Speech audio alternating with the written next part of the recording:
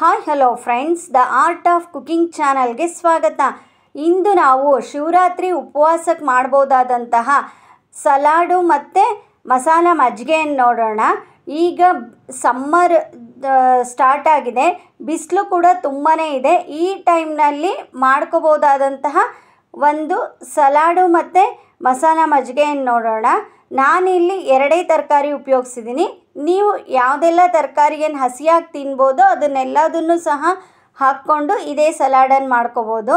ಬೇಕಿದ್ದರೆ ಶೇಂಗಾ ಸಹ ಇದ್ರ ಜೊತೆ ಮಿಕ್ಸ್ ಮಾಡ್ಕೋಬೋದು. ಮೊದಲಿಗೆ ಕ್ಯಾರೆಟನ್ನು ಚೆನ್ನಾಗಿ ತೊಳೆದು ಸಿಪ್ಪೆ ತೆಗೆದು ನಿಮ್ಗೆ ಯಾವ ಸೈಜಲ್ಲಿ ಬೇಕೋ ಆ ಸೈಜಲ್ಲಿ ಕ್ಯಾರೆಟನ್ನು ಕಟ್ ಮಾಡಿ ಇಟ್ಕೊಳ್ಳಿ. ಈ ಸಲಾಡನ್ನು ಡಯೆಟ್ ಮಾಡೋರು ಸಹ ಮಾಡಿಕೊಂಡು ತಿನ್ಬೋದು. ಹಾಗೂ ಬೇಸಿಗೆಗೆ ಇದು ಹೇಳಿ ಮಾಡಿಸಿದಂತಹ ಸಲಾಡ್ ಆಗಿದೆ. ಉಪವಾಸಕ್ಕೆ ಸಹ ನಾವಿಲ್ಲಿ ಈರುಳ್ಳಿ ಇದ್ಯಾವುದನ್ನು ಉಪಯೋಗಿಸದೇ ಇರೋದ್ರಿಂದ ಉಪವಾಸಕ್ಕೆ ಸಹ ಈ ಸಲಾಡ್ ಮಾಡಿಕೊಂಡು ತಿನ್ನೋದ್ರಿಂದ ನಾವು ಹೆಚ್ಚು ಹೊತ್ತು ಹಸಿವನ್ನು ತಡಿಲಿಕ್ಕೆ ಅನುಕೂಲ ಆಗುತ್ತೆ. ಕ್ಯಾರೆಟನ್ನು ಹೆಚ್ಕೊಂಡ್ಬಿಟ್ಟು ಒಂದು ಬೌಲಿಗೆ ಹಾಕ್ಕೊಂಡು ನಂತರ ನಿಮಗೆ ಎಷ್ಟು ಬೇಕೋ ಅಷ್ಟು ಸೌತೆಕಾಯಿನ ಸಿಪ್ಪೆ ತೆಗೆದು ಕಹಿ ಇದೆಯಾ ಅಂತ ಚೆಕ್ ಮಾಡಿಕೊಂಡು ನಂತರ ಹೆಚ್ಕೊಳ್ಳಿ. ಕೆ ಎಳೆದಾದ ಸೌತೆಕಾಯಿ ಆದರೆ ಸಿಪ್ಪೆ ತೆಗೆಯೋ ಅವಶ್ಯಕತೆ ಇಲ್ಲ. ನಂತರ ಇದಕ್ಕೆ ಬೇಕಾದಂಥ ಒಂದು ಮಸಾಲೆಯನ್ನು ರೆಡಿ ಮಾಡ್ಕೊಳ್ಳೋಣ. ಒಂದು ಎರಡು ಪೀಸಷ್ಟು ಶುಂಠಿ ಹಾಗೂ ಹಸಿಮೆಣಸು ಕೊತ್ತಂಬರಿ ಸೊಪ್ಪು ಹಾಗೂ ಉಪ್ಪನ್ನು ಹಾಕಿ ನಯಸ್ಸಾಗೋ ಥರ ಪೇಸ್ಟ್ ಮಾಡಿ ಇಟ್ಕೊಳ್ಳಿ.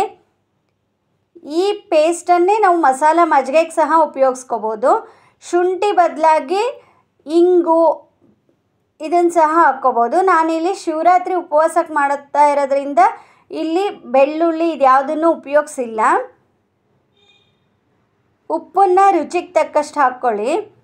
ಹಸಿಮೆಣಸಿನ ಬದಲಾಗಿ ಕಾಳುಮೆಣಸು ಸಹ ಈ ಸಲಾಡ್ಗೆ ಉಪಯೋಗಿಸ್ಕೋಬೋದು.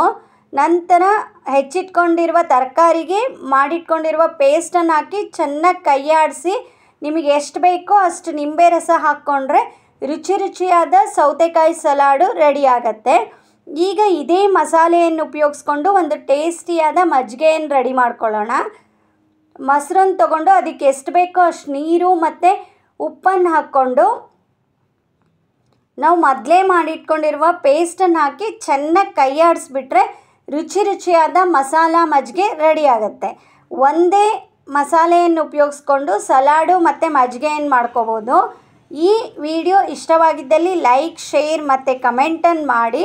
ಇನ್ನು ಹೆಚ್ಚಿನ ವಿಡಿಯೋಗಳಿಗಾಗಿ ನನ್ನ ಚಾನಲ್ಗೆ ಸಬ್ಸ್ಕ್ರೈಬ್ ಆಗಿ. Thank you for watching my YouTube channel.